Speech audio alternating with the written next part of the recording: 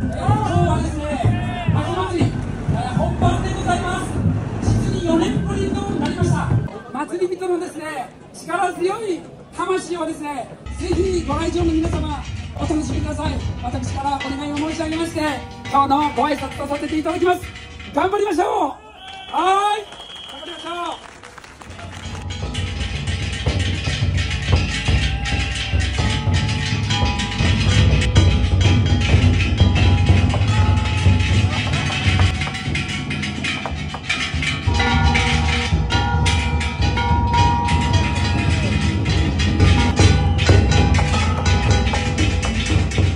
対馬の出し祭りは300年という長い年月の間に培われた対馬固有の出し文化があります。見どころが満載でございます。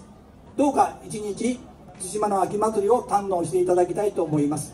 4年間あの縮小という形でやってまいりましたけど今日初めてフルであの開催することができました。これも皆様のおかげで思っております。ぜひ今日観客の方も楽しんで祭り人の人も楽しんで目いっぱい頑張ってください。ありがたいことに4年ぶりにこの対馬の駅の前でこうやってたくさんの内外そして海外からもたくさんの方々が駆けつけてくれたこの秋祭りみんなで楽しみましょう